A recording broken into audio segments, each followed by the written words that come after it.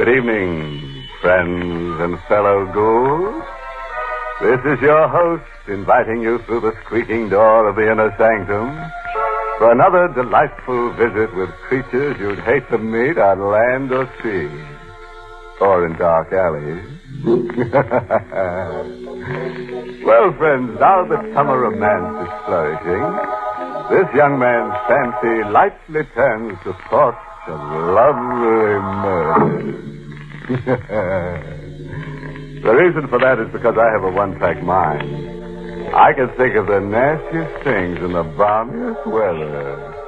When I see the first tender flower buds open their delicate petals, I immediately think how nice they look on some murderer's grave.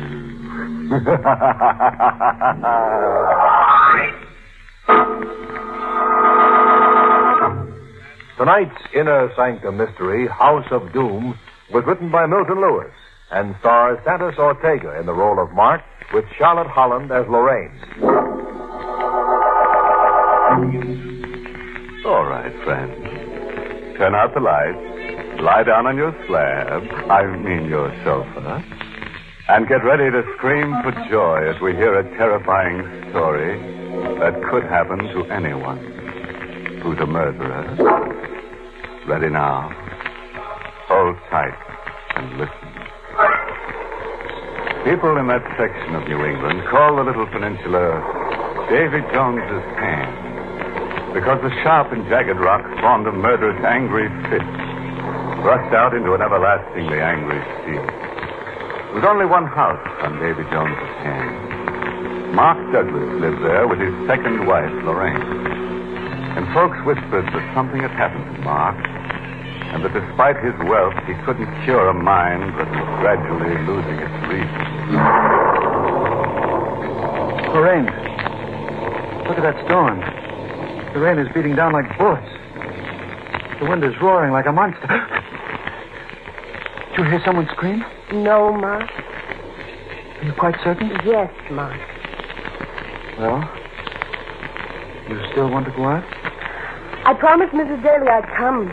It's just down the road. Really? And what's so important about your going? Oh, Mark, I, I just want to see her. We, we were going to play a little bridge. Now, Mark, why don't you come with me? No. Why not? You've locked yourself in this house like a prisoner for months. You can't go on like this. I don't want to go with you, and that's the end of it. Then why do you object to my going? I don't want to be here alone. I. I can't bear it when I'm alone. I. There. I'm positive I heard someone screaming. No. Yes, I did. It was a woman. Woman screaming for help. Didn't you hear it? No, Ma. No? Please, I want to go now. Lorraine, I'm afraid to let you go. Afraid? Why? I'm afraid something might happen to you. Well, what could possibly happen? The, the same thing that happened to, to Betty. Betty, your first wife. She. She went out on a night like this. Alone. Down that rocky road. And the next morning I found her body on the beach, covered with seaweed. Like some horrible thing that had been chewed and mauled and spit up by a murderous sea. I can't stay here another minute. I've got to get out. You'll do what I tell you. No. You will. Lorraine. Forgive me, I'm sorry. I'm terribly sorry. Forgive you. Shall I forgive you for the months you've kept me locked up here? Waiting on you and listening to you. Lorraine, get me this. Lorraine, get me that. Lorraine, I hear screams. Lorraine, I'm afraid. And now you've been frightening me. Well, I can't bear it. I'm leaving. Lorraine! Come back, Lorraine! I'll be all right. I'll be all right without her. I... How was that? Oh. Just the wind. Of course. Mark! Where are you? I did hear it. It's Betty. Help me, Mark! Betty! Where are you? Betty, where are you? Tell me, tell me! Can I hear it? What's happening to me? What? Where's the phone? Honey. You must be hearing things.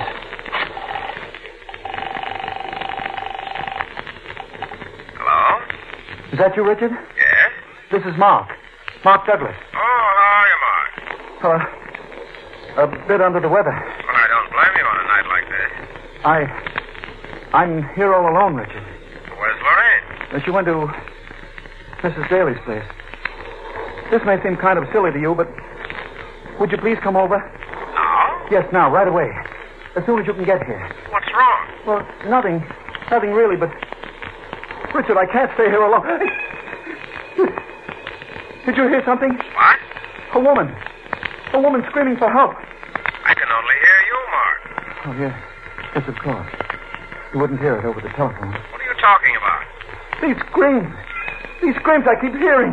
It's been going on for months. I think it's Betty. Richard, you've got to come over right away. I can't be here alone. I can't. What is it, Mark? What's wrong? she's at the door. Who? The woman. Goodbye, Richard. Betty, she's come back. Open the door. I'm coming. I'll open the door. Betty. Oh. There she stood. Her face covered with seaweed. Her arms held out to me. She leaned forward and touched me. And then something snapped in my brain.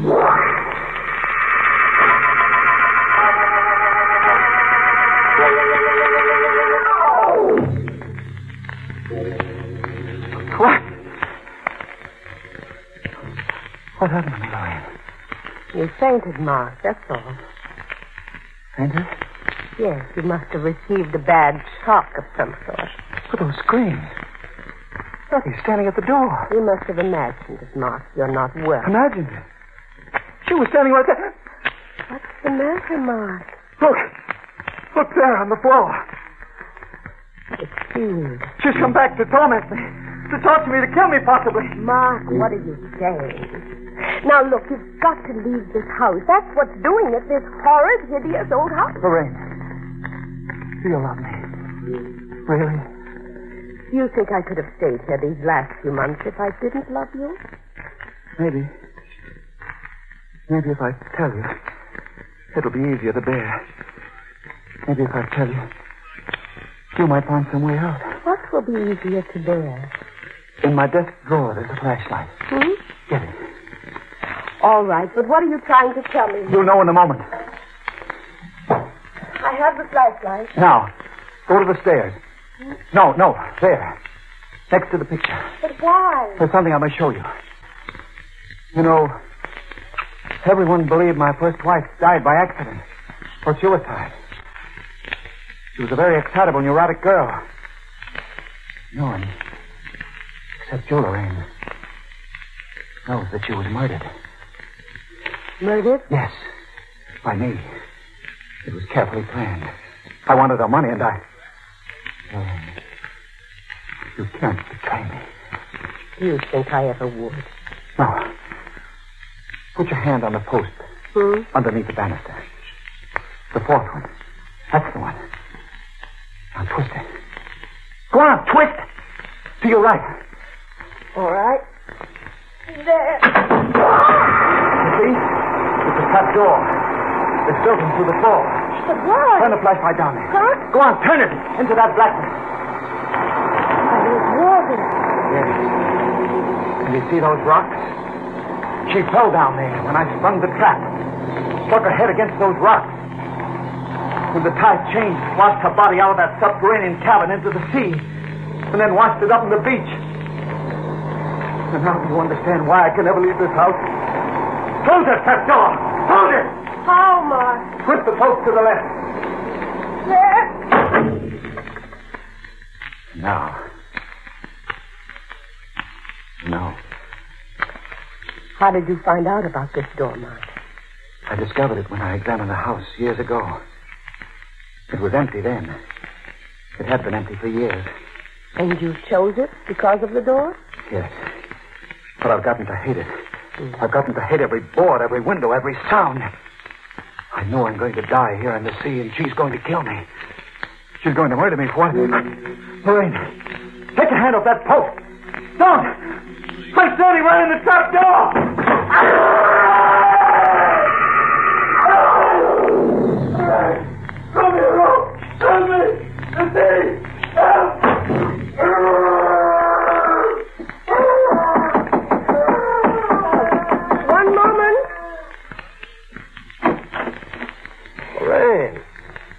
Oh, hello, Richard. I received a phone call from Mark tonight, and I've. Lorraine. You look so strange. Do I, Richard? And so. so beautiful. Oh, no, no. No, nothing, Richard. Not now. Where's Mark? Well, that, that's just it. I, I don't know. I went out to Mrs. Daly's, and, and then I changed my mind. And, and when I returned, he was gone. I'm, I'm worried, Richard. What did he tell you on the phone? He sounded absolutely out of his mind. Completely hysterical. Complained of hearing screams. In a terrible state. Lorraine, do you think that he could have... Yes, that's, that's what I'm worried about, those clicks. It may not be too late. We'd better search for him. Yes, I'll come with you. Oh.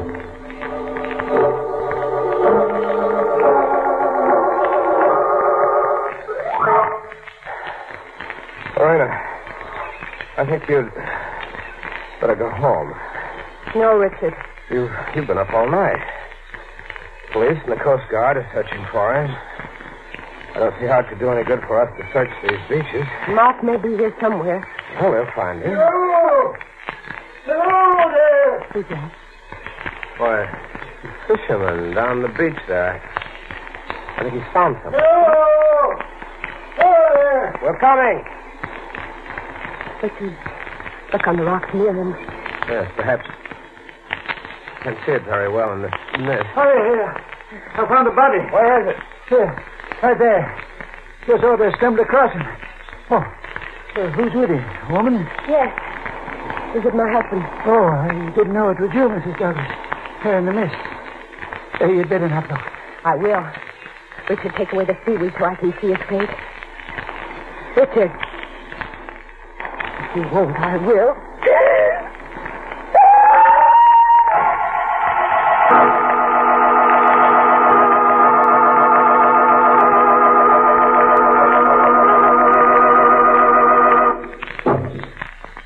Well, friends, how'd you like to live in the House of Doom? Hmm? Cozy little place to spend a short life, but a loony one, isn't it? You know, a little home like that would be our answer to the housing shortage. Just build a few of them, and you won't have any tenants to worry about. well, friends, let's get back to our story. Two years after the death of her husband, we find the lovely Lorraine in the house on Davy Jones's hand, staring out the window, just as her husband had done on the night he was murdered. She's married again to her husband's friend, Richard Belmont. Are you ready, Lorraine? Yes, Richard. Will you help me with my raincoat, please? Of course. Thank you. Will Kathy be there? Oh, I don't know. I suppose they asked her. At any rate, they'll all be glad to see you. Why, this will be the first time you've stepped out of the house in months. I can't help it if I've been ill. Lorraine, there's no reason to get angry. I'm sorry. It's just that I, I don't care to go out in a storm like that. Just a short trip down the road. I know it. What's a little rain? You're in very good health now. Please don't talk about it. You ready? Yes, I'm quite ready, thank you. Let's go. No, I can't go. Lorraine, Richard, please close that door and come in here. what's the matter with you? Nothing. I, I just don't want to leave here tonight, that's all. I was afraid of this. Will you? Something weird. Something queer about the way you cling to this house. Though it held you trapped. Mark was that way before he died, too. Please don't talk about Mark. Why not? What are you afraid of? Nothing. Nothing except to leave this house. Nothing except that you jump at every sound. Do you think I don't notice things? Do you think I'm a fool? Where are you going? Out. If you won't come with me, I'll go alone. I can't stand this place another moment. No. I've been locked up in here for days. I feel like a trapped animal. Oh, wait, wait, wait a minute, Richard. Don't go. Why not? Because I'm asking you not to. Richard, please stay with me. I don't want to be in this house alone. Please stay. I hear things when I'm in this house alone. Richard, don't leave me. Your life may be may depend on it. Please, please, Richard, don't go. Goodbye. Richard! Richard!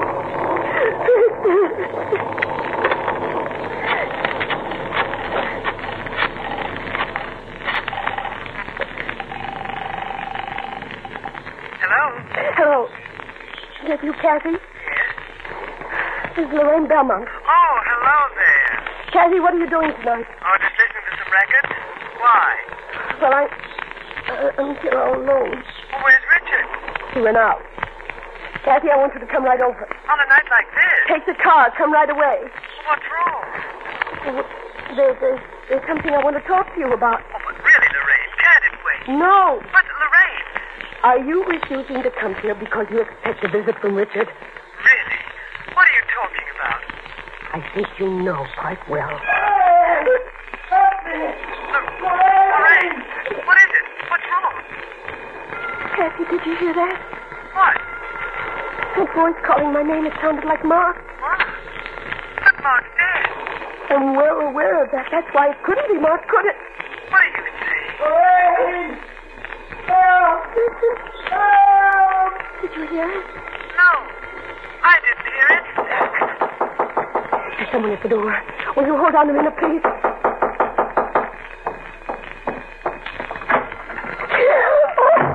Lorraine. Lorraine. Hello, Kathy. Lorraine, you, you sound so strange. Who was at the door? No one was at the door. No one. No one. When I got there, all I found was some seaweed. Goodbye, Kathy.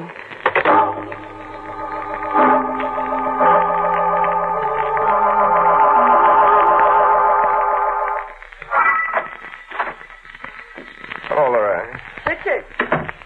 I decided to come back. I couldn't leave you alone.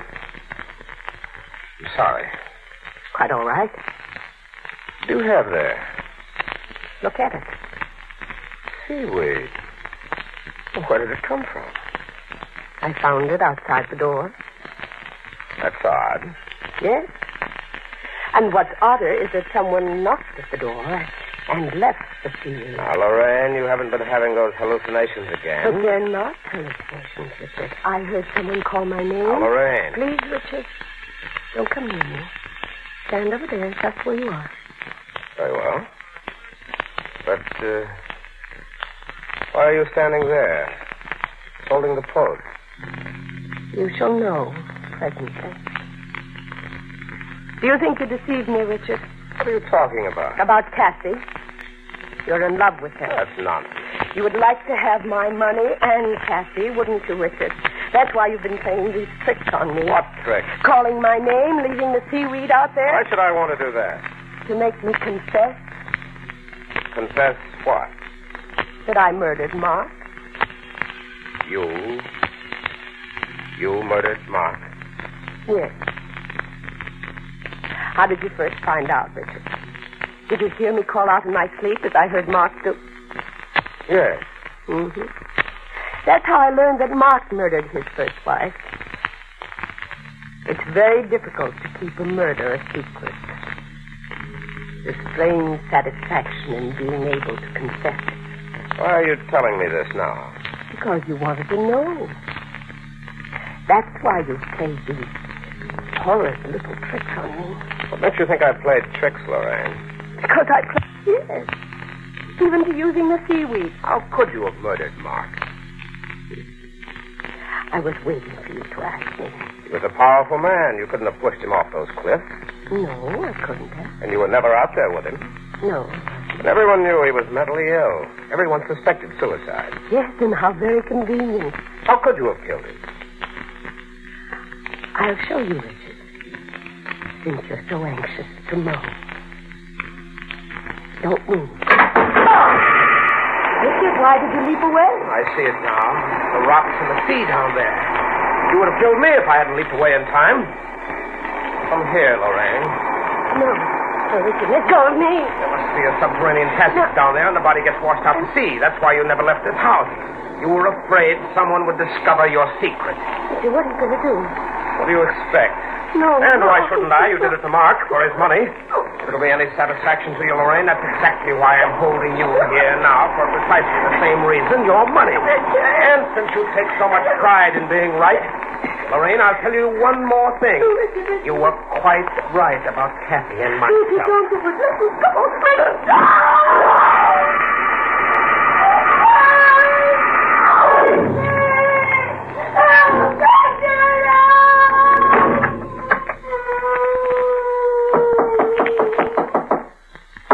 moment. Kathy. Well, Lorraine said you weren't home. Did she? She called up frantically on the phone. I swear she sounded half insane. Where is she? Why, she isn't here, Kathy. I came back from the Dalys. In fact, I never got there. When I returned a moment ago, she was gone. Richard, do you think... I don't know. A woman in her mental condition is very apt to destroy herself. Destroy herself? Then you'll be free. And you and I. We mustn't think of that now, Kathy. She may still be out there somewhere. We've got to try to save her. If we can. Come on, let's look for her.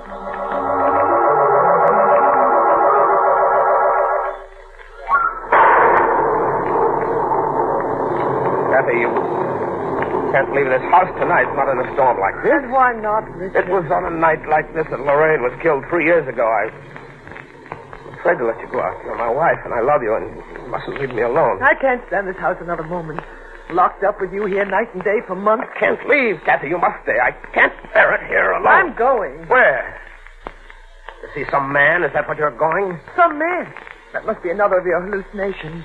I'm just going down the road. I've got to see some human being who's in his right mind, or I'll go out of my mind myself. Kathy, don't leave it. Did you hear it then? Hear what, Richard? That voice. A woman's voice. Calling for help. No, Richard, I... I didn't hear a thing. Are you sure? Yes. Kathy, don't go. Stay with me. No. I can't stay here another minute in this place. If you invented the torture, the evil, and the doom that couldn't be worse. No. I, I hate every board, every door, every piece of it. I can't stand another instant. Goodbye, Richard. Kathy! Kathy! I, I wonder, does she know? Have I been talking in my sleep? Hmm. Maybe I should tell her. I'm sure I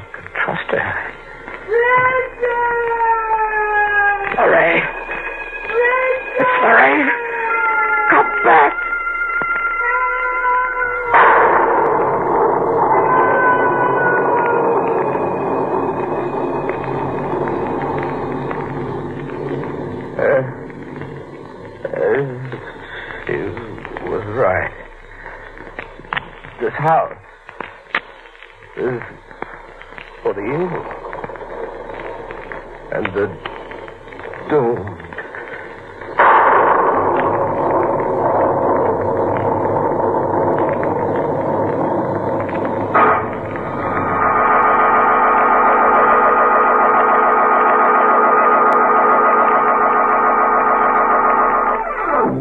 Well, Frank, if you think Richard and Kathy aren't going to go down that trap door, then you just don't have any imagination. Or you just haven't heard enough inner sanctum mysteries. of course, we have a very uplifting moral for these gruesome shenanigans. It's taken from the haunted words of Poltergeist, who said, Always live in a house that's haunted by ghosts, vampires, werewolves, zombies, and spooks. You'll never have a dull night. Inner Sanctum was heard in the United States over CBS, the Columbia Broadcasting System, and has been rebroadcast for servicemen and women overseas through the facilities of the United States Armed Forces Radio Service, the voice of information and education.